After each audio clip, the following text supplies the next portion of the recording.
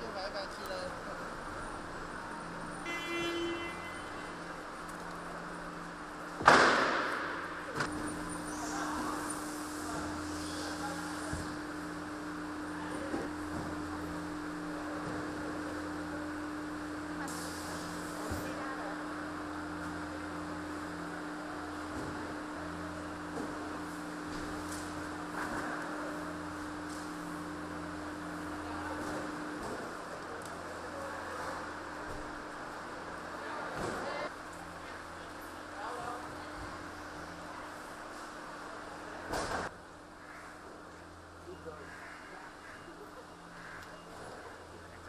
Giờ mới biết bất cực là gì.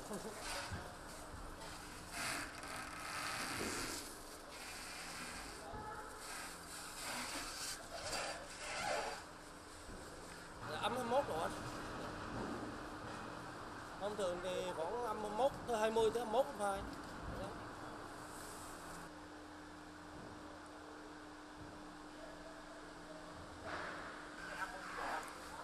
Dạ, đây âm khoảng 21 rồi